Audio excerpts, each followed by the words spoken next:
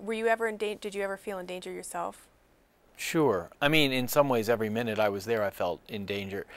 For me, the real fear was not so much a, an, a bomb or an IED going off or getting caught in crossfire because that almost felt like just occupational hazard and if it happens it wasn't your day and we we all were willing to go out and take that risk it was kidnapping The Daniel Pearl. yeah it was being psychologically and physically tortured you know in public view on the internet on the web and then killed and just the the, the fear of the aloneness of those last days and hours of one's life um, spent in the hands of people who um, had no concern whatsoever. That that was terrifying. And there were times when I could have easily been kidnapped. A flat tire on the wrong stretch of highway, that kind of thing. So those were the bad moments.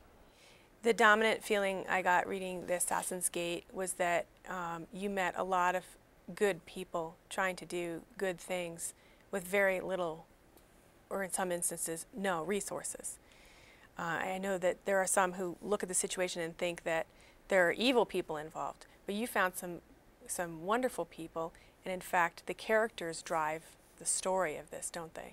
Yeah, I wanted to write this book um, in the in the model of a 19th century novel, where the reader gets to know a handful of characters and watches their lives play out on this big historical stage as they pass in and out of the story, and as the big events have an effect on their small lives. I was not so interested in the VIPs. I mean, I interviewed Bremer, I interviewed Condi Rice, but you don't get anything out of those interviews. What I really was interested in was the way more ordinary Americans and Iraqis, like um, a junior officer in the army, or uh, a mid-level civilian official, or uh, a young woman working at the university, or a psychiatrist, or a doctor, how they saw what was happening, and especially how they each saw the other. I was always trying to figure out what did the Iraqis think of these people who had shown up in their country, and what did the Americans think of this project that they had undertaken, you know, in many cases with, as you say, high ideals, and which any thoughtful, sensitive person knew was going terribly wrong. And to watch people try to make sense of it and try to, to, to improve it when they were, in a sense, trying to dig their way out of a sand trap was humanly interesting. That was what interested me, was the, the, the psychology of, of the people involved, not, not so much the big policy questions. It's interesting. Everybody seems to be writing a book now, d- disavowing their uh, complicity. And, You mean all the officials? yeah. Yeah, those books are not worth the paper they're printed on. I have not yet read a book by a, a high official who really took a hard look at his own responsibility. Instead, it's pass the buck time. And my guess is we're not going to get a book like that. I mean, Robert McNamara, you know, for all the scorn that should be heaped on him, did attempt to um, atone for his own terrible mistakes by looking hard at them. Maybe not hard enough, but he did look hard at them. I was told by a very smart man this is not that kind of war. These are not that kind of officials. They are neoconservatives, and that means they are not going to look back and ask what they did wrong. They're going to look around for who stabbed them in the back. So when we get Rumsfeld's memoirs and when we get Cheney's memoirs, they're not going to have an ounce of self criticism. That's my what do you think prediction. happened with Colin Powell? I mean, his testimony before the United Nations was pretty swaying. Oh, and I think that eats away at him every day. Do you? I do. I do. And I also think, I may be wrong, but I think Paul Wolfowitz is somewhat tormented as well. And it speaks a little better for them. I mean, I'd like to think that these guys are kept up at night. Um, you know, Colin Powell, you know, said after George Bush said he slept well after making the decision to go to war, he said uh, he slept like a baby. Colin Powell said, "So did I. I woke up screaming every two hours." You know, that shows that Colin Powell knows something about what it meant to undertake this this, you know, terribly risky thing. and the fact that his public posture has pretty much disappeared tells me that he is um, living with it. What's the future? You had predicted that uh, in this book that perhaps the, the escalating terrorism would drive the Iraqis towards their occupa- uh, you know, towards the Americans just for safety's sake. We see the surge. It seems to have had at least a temporary uh, calming effect.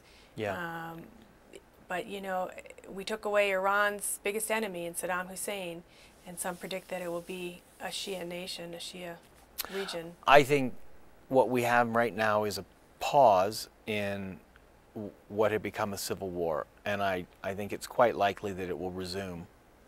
But the pause is important. I mean, it gives the Iraqi government the chance to make up for its own grievous errors. Um, I have a friend who I got to know over there, a reporter, who's back after two years, and he just has been emailing me daily telling me you wouldn't recognize it. Mm. I mean, there's thousands of people out on the streets well after dark. Women are going around without the scarf. That means the fear of the armed gangs, and that's what they had become. It had become gang warfare, is is much lower, and that's a really good thing. Um, I don't know that it's durable because the underlying political questions of basically whose country is it have not been answered. And you're not in favor of us pulling out anytime soon, that it would cause more problems. I'm not in favor of a timeline because I think timelines um, are blind. You, you, what you need is a is a withdrawal that is pegged to what's happening in certain parts of the country and what our needs are elsewhere, but not simply a blind withdrawal. Um, I was in favor of the surge. I was in Iraq when it started, and basically, I, my feeling was um, this is better than nothing, and, and until now we've had nothing. So I thought it was a turn in the right direction. I also know that this is a war that is not sustainable. The American people will not allow it to be sustained. But do they do they care? Do they really seem to care? It seems that people, No. I mean we don't have a draft, so it's selective who's going and who's dying. And it seems, at least from my talking to people, that it's kind of out there somewhere and there's a fatigue about it and Eh, there is fatigue and there's been detachment from the beginning. I mean, this has been a war that has not involved the American people other than the, uh, the military and their families. I mean, the burden has been carried by a tiny fraction of the country. And I think, in a sense, that was part of the administration's strategy to basically let let us know that this wouldn't be all that costly. And that strategy has backfired because now they've lost the support of people whose support they never really worked to get. There are so many conspiracy theories that float around, especially in the Middle East, you know, and, and many And in this country, and in this country too. Um, in your research, in your conversations, in your travels, do any of them hold muster? For instance, that we went to war for oil. I don't think they stand up to scrutiny. I mean, um, oil may have motivated um, some people in the administration. It, certainly may have motivated some of their friends in the private sector. But I think th- this war was about power and ideas. This was an attempt to show the world, and especially the most volatile part of it, that the U.S. was not going to be um, beaten and pushed around, that we were going to strike back and remove people who were our enemies. And I think it was not a, lot more sophisticated than that. Um, and in fact, if oil was the motive, it was a pretty bad decision because for years we poured money into the Iraqi um, oil economy and, and got very little back. And look at gas prices today. So what was the what was the benefit to us in terms of oil? I think it's impossible to, to make a case for it. It's that kind of thinking, which you're right, is very widespread in the Middle East, and the, including that we attacked our own World Trade Towers. yeah, I, I mean, the internet has been a, a source of massive disinformation all across the world, um, not least in the Middle East. And yeah, I met people in Iraq every day who asked me if we had allowed the looting because we wanted Iraq to destroy its own economy, etc. And I meet people in this country who are, are conspiracy minded from the right and the left, whether it's we went to war for oil on the left or um, Barack Obama won't put his hand on the Bible when he takes the oath of office from the right. So it's we have more and more information and we seem to be less and less informed. And it's a, a paradox of you know the age of global media.